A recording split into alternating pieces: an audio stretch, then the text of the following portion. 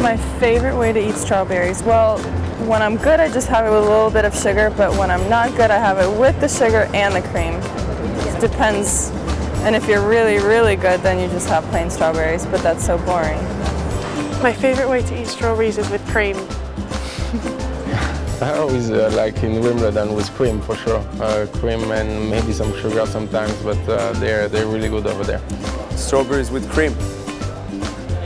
There you go. With my fingers. Uh, with cream, definitely with cream.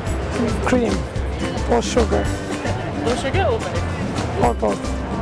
I like to eat strawberries with like the cream on top and just enjoy it with some friends. it just needs to be fresh, big, and without anything. Three bites. I don't know. With cream. Yeah. I like what they do at Wimbledon. I think it's with the vanilla cream. But uh,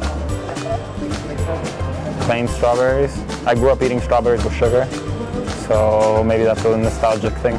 Favorite way to eat uh, strawberry is with cream.